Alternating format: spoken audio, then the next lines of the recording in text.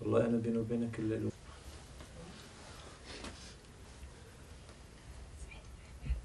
صح الكلمة اللي أنا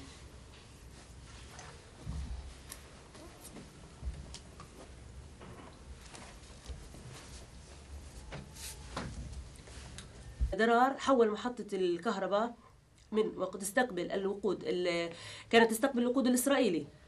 فلما حولها لتستقبل الوقود ال- المصري طبعا في هذا سبب خسارة كبيرة لهم.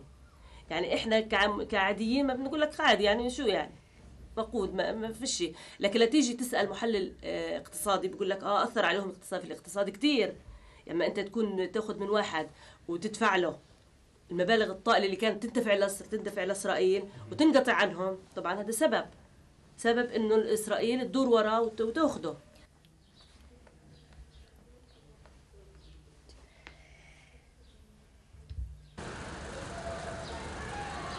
وين حاتم؟ عطا. عطا! عطا! عليكم السلام. أنا ولا حماس ولا بطيء في حماس.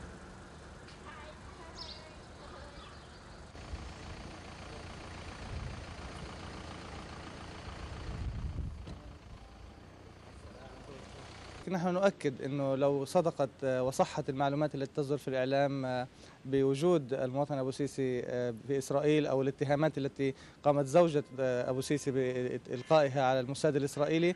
حقيقة هذا يضع آه، علامات استفهام جديدة على أن هذا الاحتلال يستمر في جرائمه كما قام في قضية المبحوح واستغلال الأراضي الأخرى. وهذا يضع مسؤولية على أوكرانيا لضرورة الكشف عن ملابسات اختفاء ضرار أبو سيسي وكيفية أن يقوم الاحتلال الصهيوني باختطاف مواطن فلسطيني من أراضيها. وهذه دليل جديد على قرصنة الاحتلال الصهيوني ولا بد للمجتمع الدولي أن يتحرك لوقف جرائم الاحتلال.